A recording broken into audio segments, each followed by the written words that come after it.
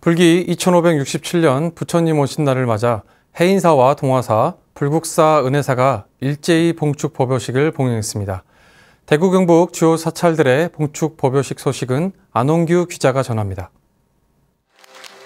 해인 총림 해인사가 지난 27일 해인사 방장 원각대종사, 주지 해일 스님 등이 참석한 가운데 불기 2567년 부처님 오신 날 봉축 법요식을 봉행했습니다. 원래 이 마음바탕에서 동체 대비로 서로서로 돕고 환경을 잘 가꾸어 살기 좋은 세상을 만들어 가야겠습니다. 해인사는 가람수호와 포교회 앞장서온 신행단체 선후회에 감사패를 전달하고 합천관 내 초중고등학생 총 28명의 장학금 1240만 원을 전달해 의미를 더했습니다.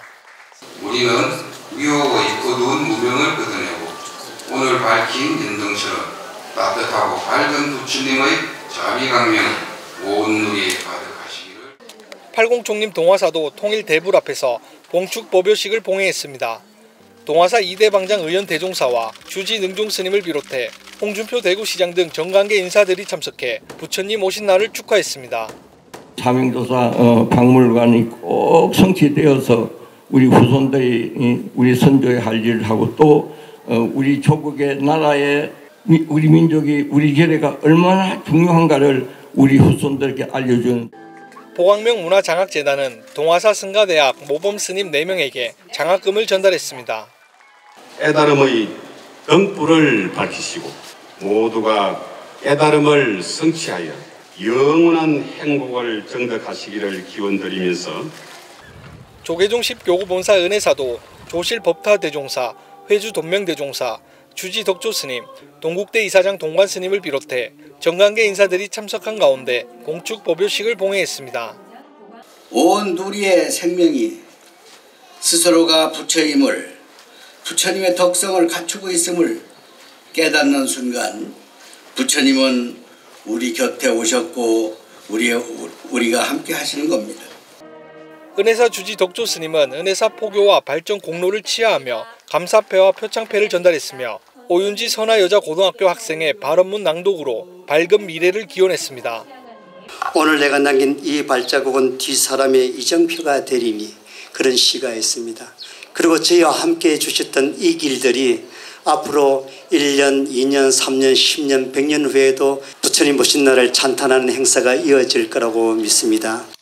조계종 11교구 본사 불국사도 관장 종상 대종사, 승가대학 원장 덕민 대종사, 주지 종천 스님 등이 참석한 가운데 부처님이 이 땅에 오신 의미를 되새겼습니다. 각계 인사들이 참석한 가운데 지난 14일 연 제35회 불국사 어린이 글짓기, 그리기 대회 시상도 진행했습니다. 부처님의 가르친 대로 실천하며 수행을 생활할 때 진정으로 우리 마음에 부처님이 오신 것입니다. 또한 월산 대선사의 사상과 일대기를 쉽게 접할 수 있도록 월산 문도회가 10여 년간 심혈을 기울여 제작한 만화로 만나는 월산 대선사 법어와 생애 봉정식도 봉행했습니다. 이 책 안에 정신 그 두 자를 위해서 이 두 권으로 해서 그분의 그 정신 수행하는 면, 또 그분의 일대기 이걸 담았습니다.